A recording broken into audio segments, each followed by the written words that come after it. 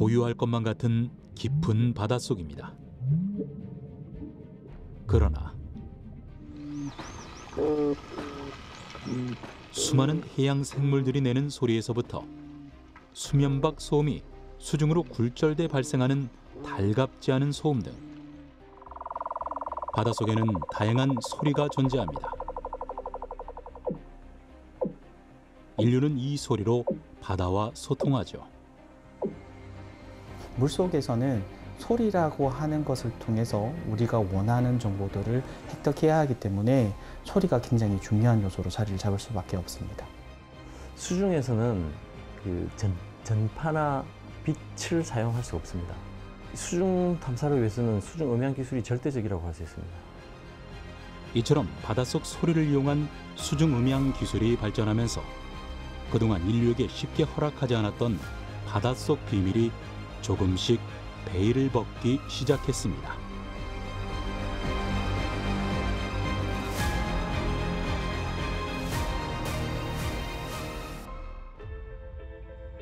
오랜 시간에 걸쳐 인류는 바다를 탐험하고 연구했습니다.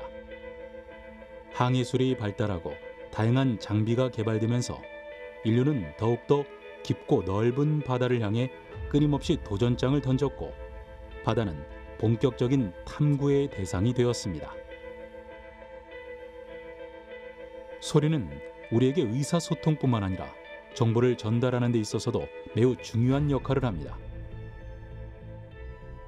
수중에서는 육상과 달리 전파와 빛은 즉시 감쇄되어 버리지만 음파는 초당 약 1500m 전파되는데요. 이 때문에 수중에서의 유일한 소통 수단은 음파입니다. 그리고 이 소리는 다양한 생물들의 행동과 상호작용에 영향을 주는데요. 그렇다면 수중 해양 생물들의 소리를 통해 우리는 무엇을 알 수 있을까요? 어, 공기 그냥 공기 중이라고 생각을 한번 해보면 우리는 빛이라고 하는 존재가 있기 때문에 어떤 사물을 인지를 할 수가 있고 이 사물의 사물이 어떻게 움직이는지를 판단해서 제 움직임도 이제 어떻게 해야겠다라고 판단할 수가 있습니다. 그렇지만 불행히도 물 속에서는 빛이라는 것을 어, 사용을 할 수가 없습니다. 그래서 어, 이런 이 공기 중에서 빛이라는 걸 통해서 무언가를 인지하는 것과 같이 물 속에서는 소리라고 하는 것을 통해서 우리가 원하는 정보들을 획득해야 하기 때문에 소리가 굉장히 중요한 요소로 자리를 잡을 수밖에 없습니다. 지금에서 가장 효과적으로 무언가를 탐지한다. 특히 원거리에서 활동하는 어떤 표적이나 어떤 물체를 탐지한다라고 얘기를 한다면 어, 수중, 수중에서는 소리가 거의 유일한 수단이라고 이야기할 수 있겠습니다. 우리나라 해양탐사연구의 전진기지인 이곳은 한국해양과학연구원 남해연구소입니다. 이곳 남해연구소에는 현재 다섯 척의 수중 지층 음파 탐지기를 탑재한 종합해양연구 선단을 운영하고 있는데요. 선착장에 정박되어 있는 이 배는 순수 국내 기술로 제작된 이사부호입니다. 2017년부터 대양을 누비며 해양 환경을 연구하는 과학 조사선이죠. 길이 99.8m, 총무게 5,894톤, 최대 속도 15노트의 국내 최대 규모의 해양 과학 조사선 이사부호는 떠다니는 바다 위의 연구소라 불리는데요. 해상의 지형이나 기후, 해류의 흐름, 어족 자원, 해적 광물 탐사 등 전 세계 바다를 누비며 해양 관측과 해양 자원 데이터를 수집하죠. 각종 첨단 장비를 탑재해 한 번 출항하면 지구 반대편 극지까지 항해하면서 전 세계 바다를 탐사한다고 합니다. 이사부의 주요한 연구 과제는 해양 생명과 기후 변화에 대한 정보를 취득하는 일들을 하고 있습니다. 인도양에서는 열수 생명 탐사를 진행하고 있고요. 태평양에서는 태풍의 강화 현상에 대해서 왜 그런 일들이 벌어지고 있는지, 왜 바다에서부터 이런 기상 변화가 일어나는지에 대해서 연구를 진행하고 있습니다. 이번 출항에서는 우리나라에 영향을 끼치는 태풍, 그 중에서도 갑작스럽게 극강화되는 태풍의 원인을 파악하고자 태풍이 발생하는 서태평양 원풀 지역이 있습니다. 그 원풀 지역에 가서 현재 수온과 기상의 변화들을 관측하는 일들을 진행하려고 하고 있습니다. 46명의 선원과 연구원을 싣고 출항을 앞두고 있는 이사부호. 약 30일간의 탐사를 위해 상선 준비에 분주한 모습인데요. 짧게는 10여일, 길게는 수개월까지 배를 타야 하기 때문에 배 안에서 필요한 물품부터 고학 조사선인 만큼 싣는 장비들도 꽤나 많습니다. 이번 이사부호의 탐사 목적지는 태평양. 30일간의 탐사 기간 동안 태풍이 발생하는 서태평양 지역의 수온과 기상의 변화를 관측하게 되는데요. 각종 대형 연구 장비는 배가 정박한 후 수일에 걸쳐 선적한 다음 출항 전 확인을 거친다고 합니다. 최대 해저 11,000m까지 탐사할 수 있는 스마트 조사선 이사부호. 이곳 연구진들은 음향을 이용한 심해 해저 지형 탐사 연구를 진행하고 있습니다. 아직 지구의 바닷속은 약 30%만이 지도화가 되어 있는 상태. 때문에 국제적으로 바닷속 지도화를 위한 대양 탐사에 적극적으로 나서고 있는데요. 이때 사용되는 핵심적인 장비가 음파를 이용해 수심을 파악하는 다중빔 음향 측심기입니다. 음파는 우리가 일반적으로 알고 있는 메아리하고 비슷합니다. 우리가 특정한 주파수를 가지고 있는 음파를 해저면으로 쏴서 반사되는 시간을 잽니다.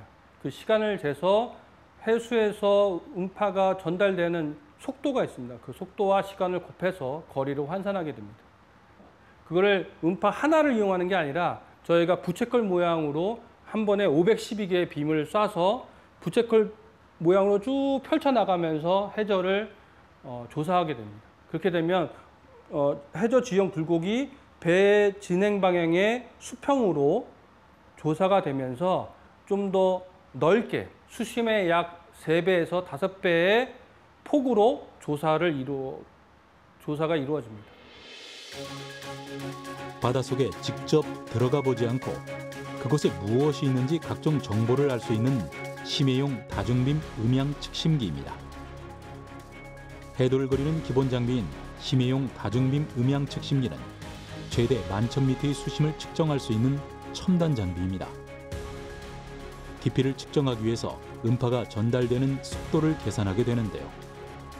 다중빔 음향 측심기는 선저에서 다중음향 신호를 발사해 수심과 해저 지형을 동시에 관측하고 기록할 수 있습니다. 이렇게 관측한 데이터는 해도 제작에 활용되는데요. 전 세계 물동량의 90%가 이동하는 바다. 배가 다닐 수 있는 안전한 항로 확보를 위해서 해도 제작은 필수인데요. 뿐만 아니라 새로운 항로 개척을 할 때도 수심을 측정해 가능 여부를 파악해야 하는 만큼 해도 제작을 위한 탐사 활동은 매우 중요하죠. 그 유엔에서 유엔 데케이드라고 해서 앞으로 10년 동안 해양 과학이 해야 될 10가지 중요한 의제가 있습니다. 그 중에서 첫 번째가 오션 매핑이라고 해서 아직까지 지구의 바닷속은 지도화되어 있지 않습니다. 대단히 중요한 작업인데 너무나 시간도 많이 들고 예산도 많이 드는 일이라 아직 미진합니다. 그래서 국제적으로 우리 지구의 바닷속을 지도하는데 가장 먼저 모든 자원을 투입하자라고 결의가 되어 있는 상태인데요. 우리나라에서도 그런 결의에 맞춰서 대양에서의 탐사를 강화하고 있는 중입니다. 모니터에 보이는 것은 해산입니다. 해산은 말 그대로 바닷속에 우뚝 솟아있는 원뿔형의 해저 지형을 말하는데요. 심해 깊은 곳에서 분출하는 마그마에 의해 만들어집니다. 육지에 있는 화산과 달리 분출구가 해수면 아래에 있고 수압과 급냉 때문에 원추형을 띠고 있는데요. 해산은 보통 심해 깊숙한 곳에 위치해 있어 발견이 쉽지 않습니다. 이곳 연구진은 지난 2017년 괌 동쪽의 공해역 해저 6,000m 지점에 있는 심해 화산의 존재를 처음으로 입증했는데요. 세계에서 가장 깊은 바다인 마리아나 해구 인근에서 발견된 이 거대 해산은 키우스트 해산이라는 이름으로 2018년 국제 공식 지명으로 등재됐습니다. 이 해산 역시 심해용 다중빔 음향 측심기를 이용해 관측했는데요. 지구의 70%를 덮고 있는 바다는 아직 10%밖에 탐사되지 않았습니다. 아직 그 누구도 선점하지 못한 바다를 선점하기 위한 출발점인 수중 음향 탐사. 이사부호가 드넓은 바다를 항해하는 이유이기도 합니다. 모든 해양 탐사의 기초는 수심에서부터 시작합니다. 왜 그러면 물속으로 들어가는 장비들은 수압을 견뎌내야 되거든요. 그 수압을 견디는 기술이 대단히 고가의 아주 높은 기술을 요하고 있습니다. 그래서 내가 탐사하고자 하는 수심대가 6,000m라고 하면 6,000m에 해당하는 장비를 투입을 해야 됩니다. 그래서 어떤 연구를 할 때 이 해역에 맞는 장비를 선정해야 되는데 그때 가장 기초적으로 얻는 것이 수심입니다. 그래서 연구의 시작점은 수심에서부터 시작되고 그 지형에서부터 시작될 수가 있겠습니다.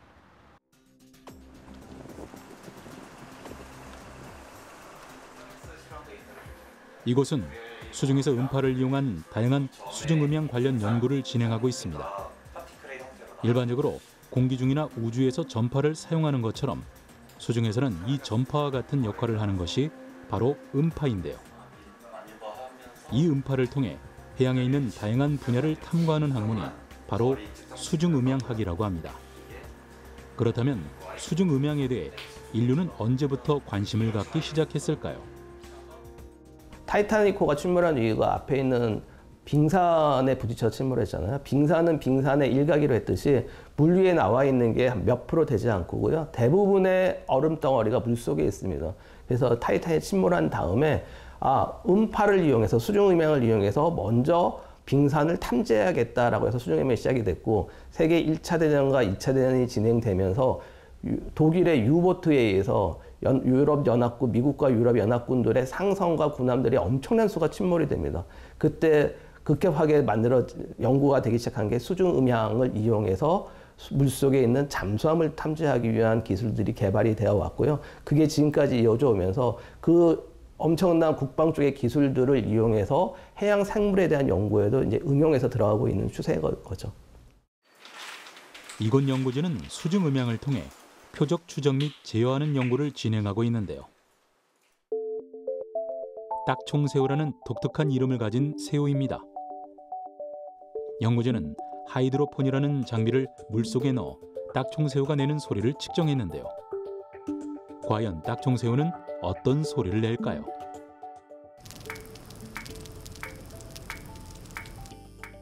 딱딱 들리는 이 소리가 바로 딱총새우의 소리입니다. 딱총새우의 집게가 만들어내는 충격파는 그 온도가 무려 4,400도씨 이상으로 태양의 표면 온도와 맞먹고 약 218데시벨의 소리가 발생하는데요. 제트 엔진의 소리가 140데시벨인 걸 감안하면 엄청난 에너지죠.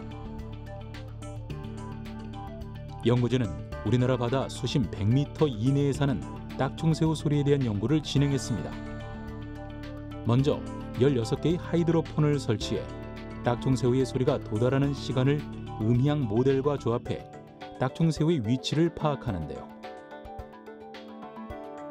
하이드로폰에 직접 닿는 소리와 해수면에서 반사되는 소리의 시간차를 통해 딱총새우의 거리와 방향을 알 수 있다고 합니다. 생물은 일단 소리를 내겠죠. 소리를 내게 되면 소리가 내는 소리를 물속에서는 하이드로폰이라는 것을 이용해 소리를 듣게 되는데요. 예를 들면 서로 다른 위치에 있는 하이드로폰에서 소리를 듣게 되면 도달하는 시간의 차이가 느낄 수가 있겠죠. 그거를 가지고 일단 방향을 알 수가 있습니다. 근데 이런 것들이 몇 조가 있게 되면 방향과 거리를 같이 포함해서 알게 되는 거죠. 바- 여러 개의 두 개의 그 하이드로폰 세트가 방향을 알려주게 되는데 그 두 개의 세트가 서로 다른 위치에 있게 되면 방향에 대한 것들을 선을 끊게 되면 만나는 점이 있을 거 아니에요. 그 만나는 점이 바로 표적의 위치가 될 수 있겠죠.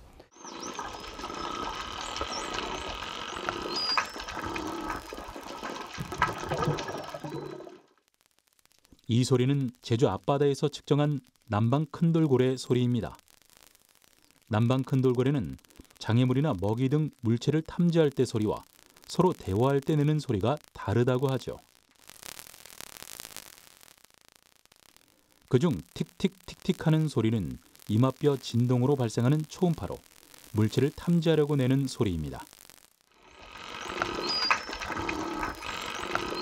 또한 휘스름은 서로 대화하는 소리로 알려져 있는데요. 이렇듯 수중 소리는 해양 생태계 보전과 생태학적 지표로 활용될 수 있습니다. 초음파가 돌아오면 물체와의 거리, 크기, 종류 등을 식별한다고 하는데요. 뿐만 아니라 최근에는 수중 음향 기술의 인공지능을 접목해 해양 생물은 물론 지질, 자원 탐사, 기후 변화 등 다양한 분야의 기술들이 개발되고 있습니다. 소리는 음향은 크게 두 가지가 있어요. 상대편에서 내는 소리를 듣기만 하는 경우와 제가 소리를 내서 그 소리가 표적을 맞고 돌아온 소리를 탐지하는 게 있습니다. 가장 쉬운 게 아, 물고기의 소리를 제가 듣고만 있으면 그거는 그 듣는 소리죠. 그게 수동의 원리고요. 반대로 제가 어떤 소리를 딱 내고 그 소리가 물고기를 맞고 돌아오는 소리를 측정하게 되면 이건 능동적인 신호 처리 기법인데 그런 식으로 능동을 이용할 수도 있게 되는데 능동을 이용하게 되면 물고기의 양과 물고기 떼의 양과 위치 같은 걸 파악할 수가 있게 되고요. 이런 것들은 플랑크톤에도 적용이 될 수가 있어서 해양 생물학적으로 수중 음향을 이용하는 것들이 굉장히 일반화되어 있습니다.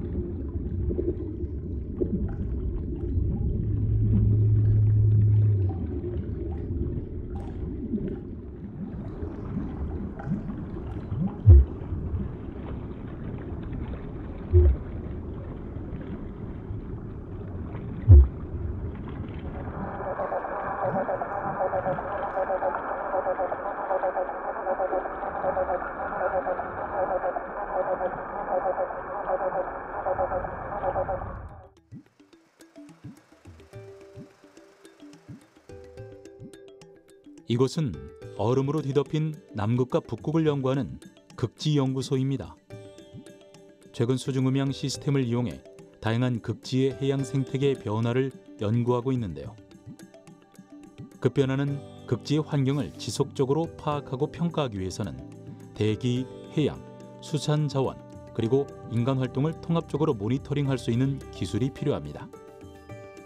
이곳 연구소는 2017년부터 극지의 바다에 수중 음향 관측 장비 시스템을 구축하고 바다의 소리를 수집 분석해 오고 있습니다.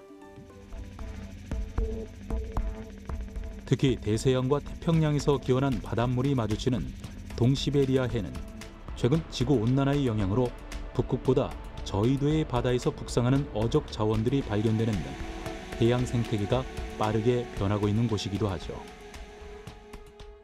이제는 다양한 수중 관측 시스템을 활용을 해서 극지라고 하면 이제 북극해와 남극해가 제 주요 연구 지역일 텐데 남극해의 경우에는 이제 가장 중요한 크릴 자원량 그리고 이제 실버피쉬라고 불리는 물고기 또한 이들을 먹이로 하는 해양 포유류에 대한 연구는 이제 수중 청음기를 이용을 해서 그 해양 포유류의 다양성 그리고 이들의 계절적인 변화를 관측 연구를 수행하고 있습니다. 북극 같은 경우에는 최근에 이제 해빙이 녹으면서 어, 다양한 수중 음향 관측 시스템을 활용을 해서 북극 해양 생태계 플러스 인간에게 영향을 끼칠 수 있는 영향까지를 이제 연구 목적으로 하고 있습니다. 눈으로 뒤덮인 하얀 바다 얼음과 푸른 바다. 남극입니다.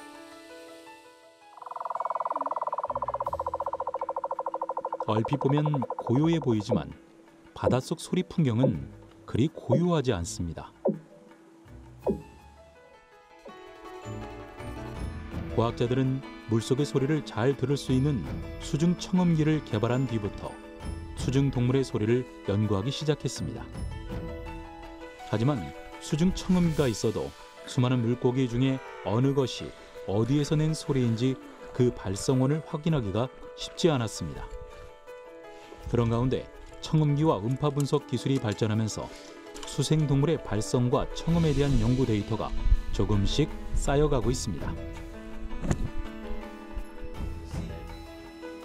바닷속 소리의 변화는 북극의 환경 변화와 해양 생태계의 다양성 그리고 건강 상태의 변화를 대변해 줍니다.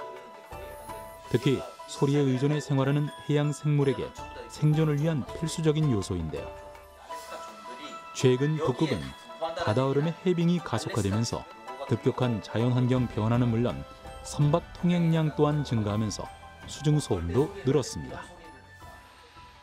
선박 통행량 증가에 따라서 북극해 소음이 지금 증가를 하고 있는데 지난 한 6, 6 7년 결과를 봐도 뭐 매, 이렇게 매년 뭐 3dB 정도의 소, 수준 소음 어, 소음 준위가 올라간다고 하고 있어요. 근데 이 3dB라고 하는 게 그냥 뭐 3이라는 숫자 자체적으로만 보면 뭐 큰 단위가 아닐 수가 있는데 이러한 에너지 입장에서 보면 소리의 크기가 두 배가 증가한다라는 그런 의미거든요. 그래서 그 3dB라는 의미가 굉장히 큰 소음이 증가했다라는 의미가 됩니다. 기존에 연구된 결과들을 보면 해양 포유류들은 서로 통신, 그 수중에서 서로 통신 그리고 뭐 항해를 하기 위해서 소리를 이용을 하잖아요. 근데 이제 통신 거리가 뭐 한 50%가 감소될 수 있다라는 그런 연구 결과가 나올 나온 사례가 있죠. 동시베리아해는 바다 얼음으로 덮여 있는 시기가 길기 때문에 연구선에 접근이 어려웠는데요.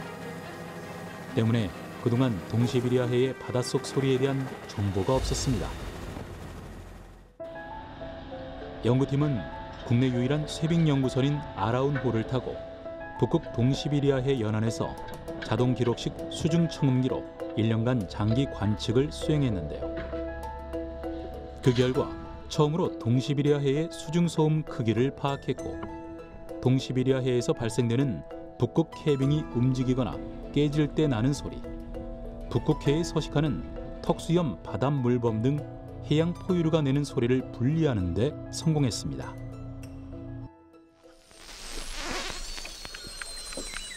북극의 고유 종 중 하나인 흰돌고래와 북극고래의 소리입니다.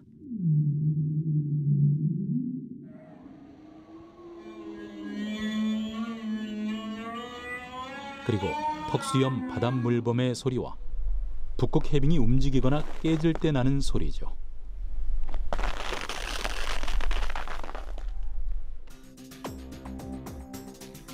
남극과 달리 북극해에 대한 연구는 주로 환경적인 연구가 진행되고 있는데요.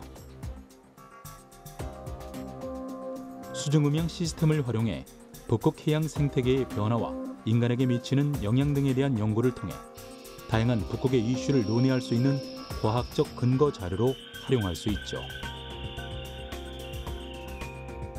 현재 지금 북극해 다양한 이슈, 말씀드린 뭐 환경적 이슈와 뭐 정책적, 정치적 이슈, 뭐 그리고 인간에 대한 이슈가 있는데요.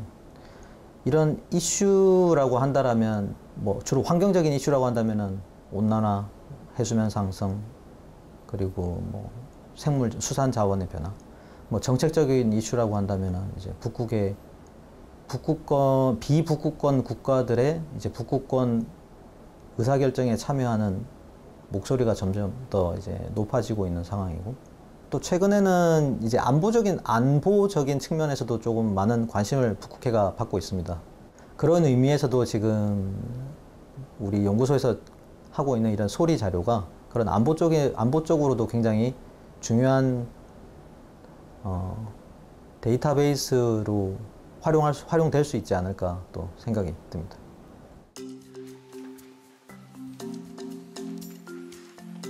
공기 중에서 빛을 통해 사물을 인지하는 것과 같이 물속에서는 소리를 통해 원하는 정보를 획득합니다.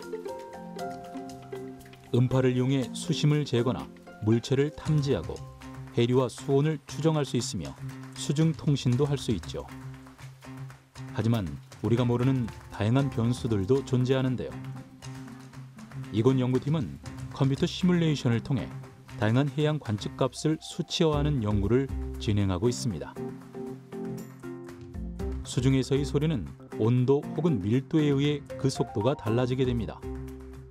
그래서 깊이에 따라 온도의 변화를 알면 소리가 어떻게 얼마나 빠르게 이동하는지 알 수 있죠. 이곳에서 진행하는 해양 관측값 수치화 연구는 바다 수치 모델을 이용해서 바다의 온도 분포를 계산하는데요. 이런 데이터는 수중 음향 속도를 계산할 때 활용할 수 있도록 정보를 제공하는 역할을 합니다. 어, 예. 수중에서 소리는 어, 온도 혹은 밀도에 의해서 속도가 달라지게 됩니다. 그래서 깊이에 따라서 속도, 어, 깊이에 따라서 온도가 어떻게 변하는지 잘 알면 소리가 어떻게 이동할지 얼마나 빠르게 이동할지를 알 수가 있거든요. 그런 의미에서 어, 바다 수치 모델을 이용해서 온도가 어떻게 분포하는지 밀도가 어떻게 분포하는지 먼저 계산한 다음에 이거를 소리의 속도, 음향의 속도를 어, 계산할 수 있, 계산할 때 사용할 수 있도록 제공하는 그런 역할을 하게 됩니다. 어, 어떤 지역에서는 얼마나 빠른 속도 빠른 속도로 소리가 전달이 될 건지 아니면 각 깊이에 따라서 얼마나 빠른 속도로 전달이 될 건지 이런 것들을 알 수가 있습니다. 그러면 그런 정보를 통해서 이제 음향을 통한 바다의 연구 같은 것들을 진행할 수가 있겠죠. 해양 관측값을 얻기 위해서는 먼저 위치나 깊이에 따라 바다를 작은 구역으로 나눕니다. 그리고 해당 지역 안에서 대표되는 온도, 염분, 속도를 정확하게 계산하기 위해서 방정식에 실제 관측 데이터를 넣어 컴퓨터 시뮬레이션을 통해 수치 모델을 만드는데요. 이때 작은 오차에도 결과에 큰 차이가 발생할 수 있기 때문에 관측 자료로부터 해당 데이터를 적절히 추정해내는 과정이 무엇보다 중요하다고 합니다. 최근 기후변화 등 더 이상 무시할 수 없는 전 세계적인 이슈로 해양 관측 모델의 역할이 더 중요해졌는데요. 이런 해양 관측 수치 모델을 통해 수중 소리의 속도뿐 아니라 기후 변화에 따른 해수 온도 상승, 해수면 변화, 바닷속 이산화탄소의 변화 등을 예측할 수도 있다고 합니다. 컴퓨터 시뮬레이션을 통해서 속도 소리의 속도 말고도 다양한 것들을 보고 있는데요. 아마 가장 익숙하신 것들은 지구의 그런 온도가 앞으로 어떻게 될 것인가 이런 것들을 예측을 하는 그런 연구에 많이 사용이 됩니다. 뭐 100년 후의 온도가 어떻게 될 것인가, 뭐 우리나라 주변의 수온이 얼마나 상승할 것인가 이런 것들을 계산할 때 수치 모델에 의존할 수밖에 없는데요. 수치 모델에다가 이제 미래의 그런 이산화탄소량을 제공을 하면은 거기에 맞게 바, 바람도 결정이 되고 얼마나 많은 그 수증기가 대기 중에 있을지 이런 것들이 결정이 되고 그런 걸 바탕으로 바다의 온도가 어떻게 될 것인지 이런 것들을 계산해 볼 수가 있습니다. 그래서 미래 기후 예측 이런 데 많이 활용합니다. 우주만큼이나 우리가 아직 완벽하게 도달하지 못한 신비의 공간. 바로 깊은 바다, 심해입니다. 햇빛이 닿지 않는 무광층인 이곳은 사람의 손이 거의 닿지 않은 곳으로 암흑 같은 바다가 끝없이 펼쳐집니다. 생태학에서는 광합성을 할 수 없는 수심 200m를 심해의 기준으로 두지만 해양학에서는 일반적으로 햇빛이 들지 않고 완전한 암흑이 되는 지점인 2000m를 기준으로 합니다. 수심 4,743m 심해의 모습입니다. 얼핏 보면 황량한 암흑의 세계처럼 보이지만 심해에도 다양한 생명체가 살고 있다는 것이 확인됐습니다. 또한 오랫동안 침전물이 퇴적되어 있는 지역이기도 하죠. 이처럼 심해는 인류가 아직 풀지 못한 미지의 세계이자 무궁무진한 자원과 수많은 정보가 담겨 있는데요. 최근 사람이 내려갈 수 없는 깊은 바닷속을 사람 대신 탐사하기 위해 다양한 기술들이 접목되고 있습니다.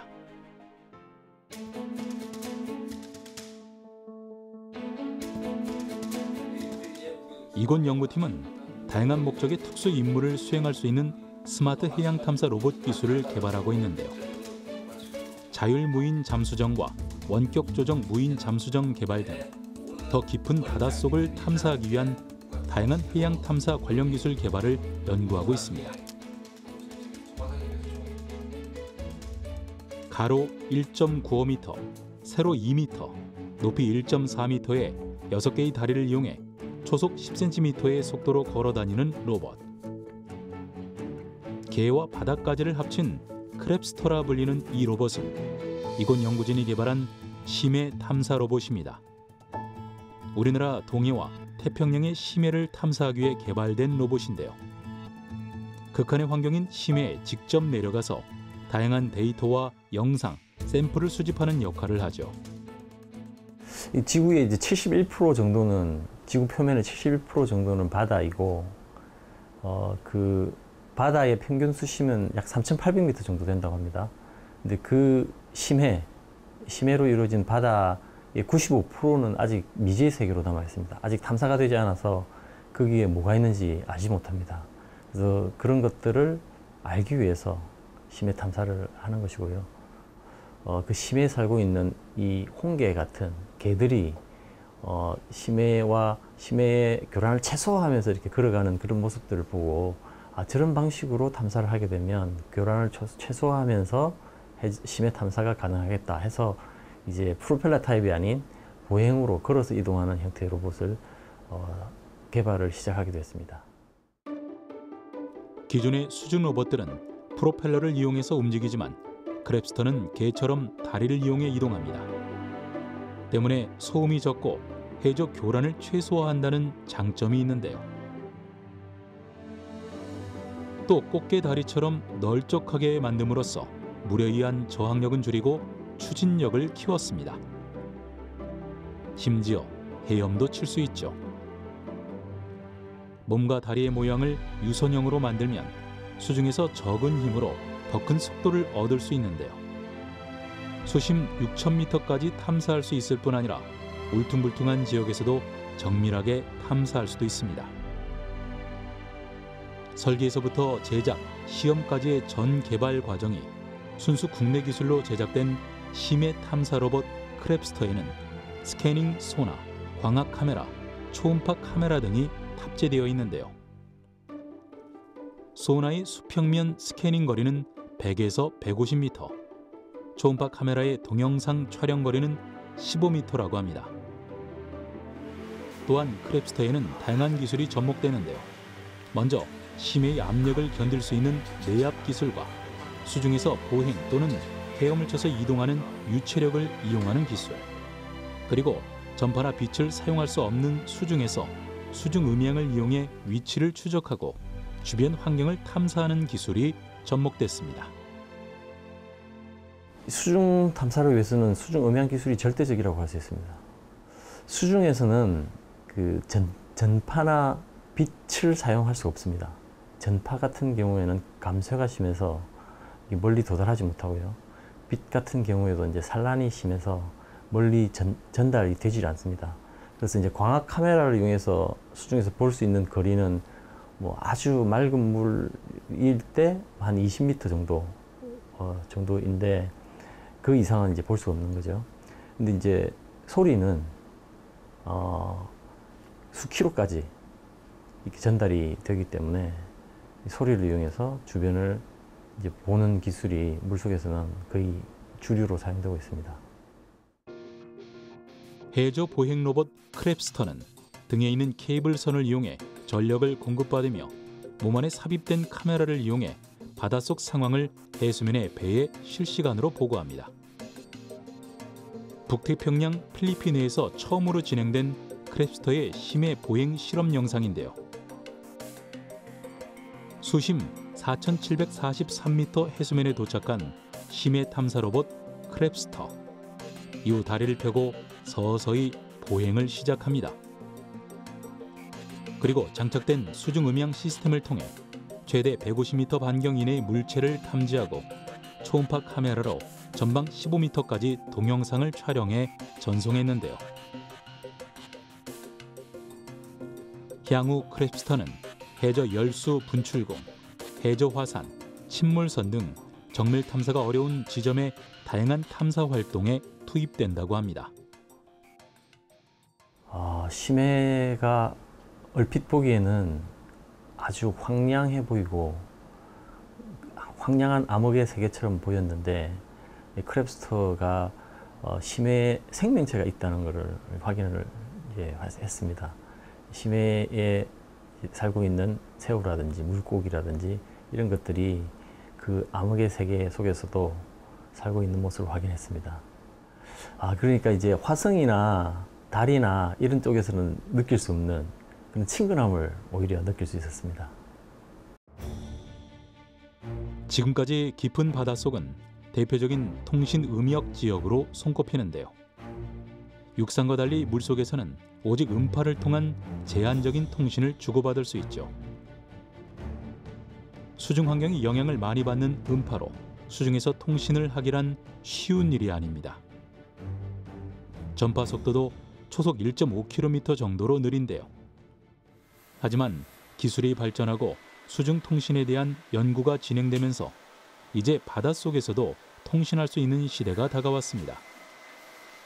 이건 연구팀은 수중 통신의 한계를 극복하고 물속에서도 빠르게 데이터를 전송할 수 있는 효율적인 네트워크 통신이 가능한 수중 통신 모뎀을 개발했습니다.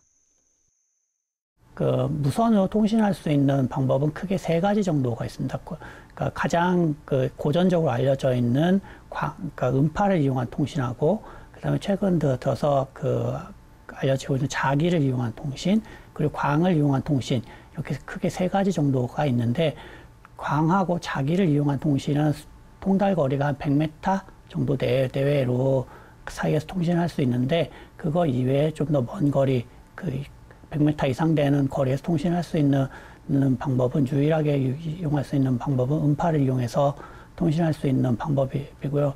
지금 그 육상에서 쓸 수 있는 저희가 핸드폰이나 이런 것들은 물 속에 들어가면은 하나도 통신을 할 수가 없기 때문에 물 속에 맞는 통신을 개발하고 있습니다.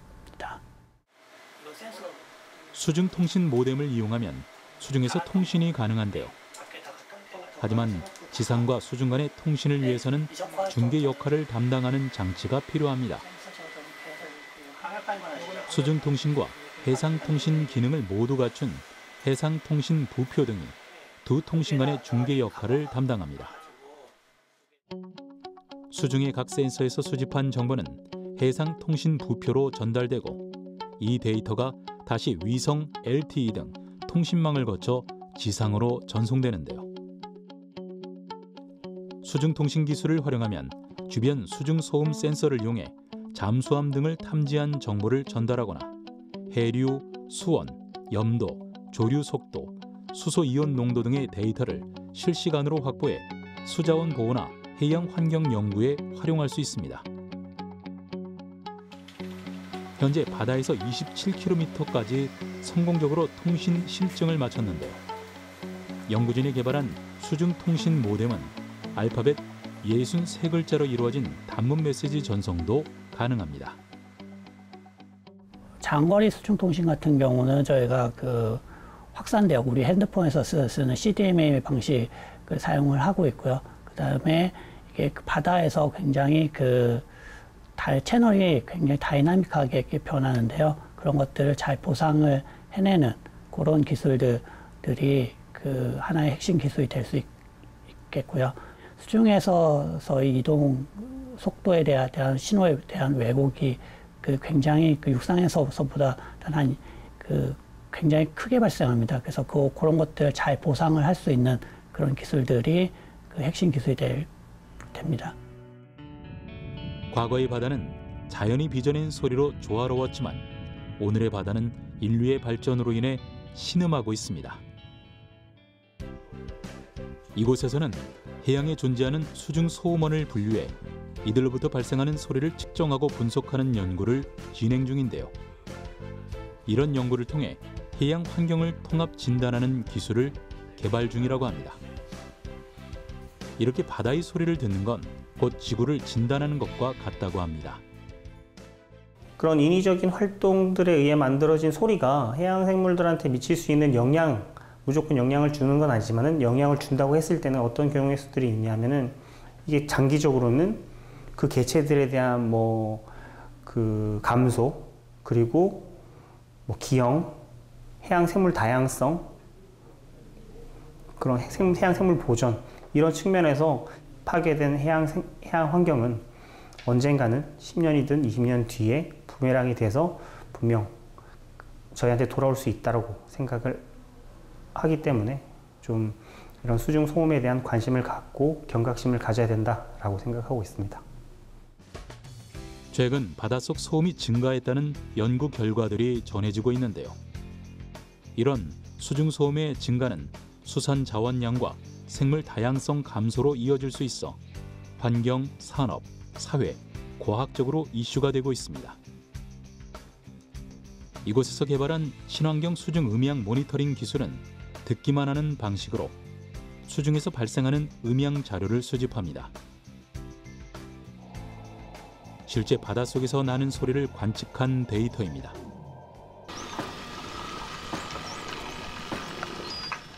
다양한 소리들이 뒤섞여 들리는데요.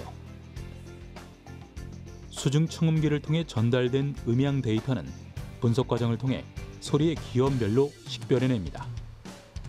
다른 자극 없이 수중의 소리를 들을 수 있을 뿐 아니라 수중에서 측정하기 때문에 밤과 낮, 기상 상황 등에 관계없이 효과적인 모니터링이 가능하죠.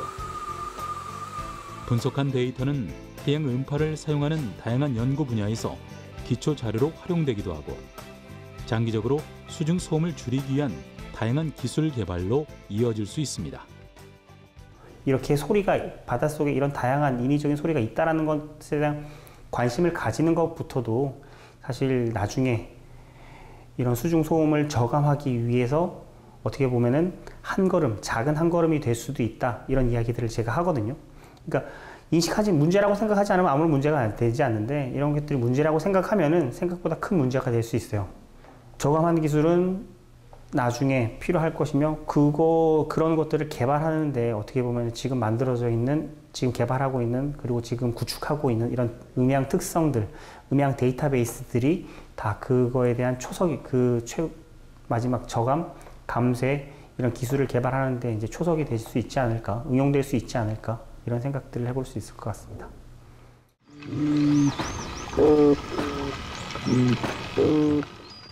인간의 활동에 의한 인위적인 소음을 조금만 줄인다면 바닷속 소리는 어떻게 달라질까요?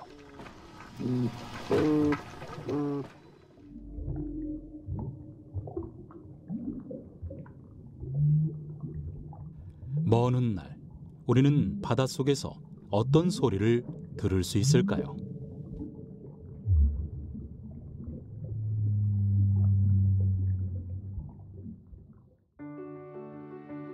수중음향 기술을 통해 우리는 베일에 쌓인 바닷속 다양한 정보를 조금씩 풀어가게 되었습니다. 그리고 해저 탐사 기술의 발달로 오랫동안 미지의 세계로 여겨졌던 바다로 다시 전 세계가 주목하고 있습니다. 소리로 바다를 보는 수중 음향 기술. 머지않아 우주의 신비를 풀어가고 있듯 더 많은 바닷속 숨은 비밀을 볼 수 있는 날이 오겠죠.